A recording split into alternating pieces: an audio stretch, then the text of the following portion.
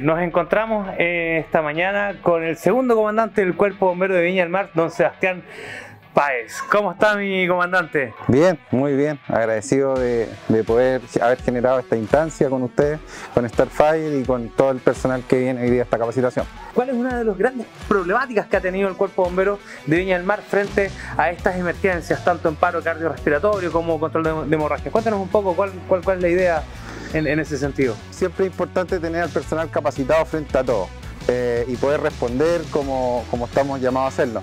Así que quisimos incluir también a nuestro personal rentado, operadoras, cuarteleros, eh, aparte del personal bomberil para que puedan actualizarse o también gente que no tenía los conocimientos poder aprender todas estas técnicas. Así que más que nada el enfoque es poder siempre estar preparado para poder eh, servir a, la, sociedad. Genial la oportunidad que se nos dio en un curso eh, con mucho contenido, de muy buena calidad. Son buenas capacitaciones que nos hacen obviamente fortalecer nuestro conocimiento. Eh, constantemente la academia está haciendo cursos y actualizaciones de los mismos cursos, pero siempre un curso completo como este, que lo encuentro genial, eh, sirve demasiado. Claramente van explicando eh, ciertos fundamentos y de ahí se abre un abanico de, imaginación en el cual es como una sed de, de conocimiento que es Entonces, teniendo unos profesionales como ellos, es la oportunidad de poder